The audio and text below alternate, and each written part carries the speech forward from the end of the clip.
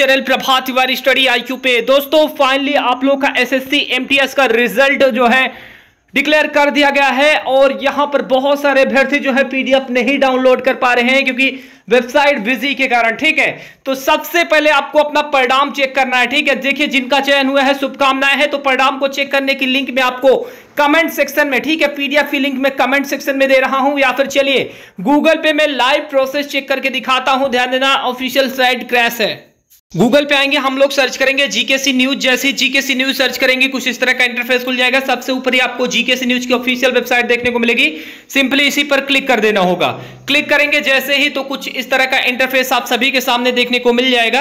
अब यहाँ पर आप लोग देख सकते हैं एसएससी एमटीएस रिज़ल्ट ठीक है? रिज़ल्ट के सेक्शन में सबसे ऊपर देखने को मिल जाएगा। सिंपली इसी पर हमको क्लिक कर देना होगा।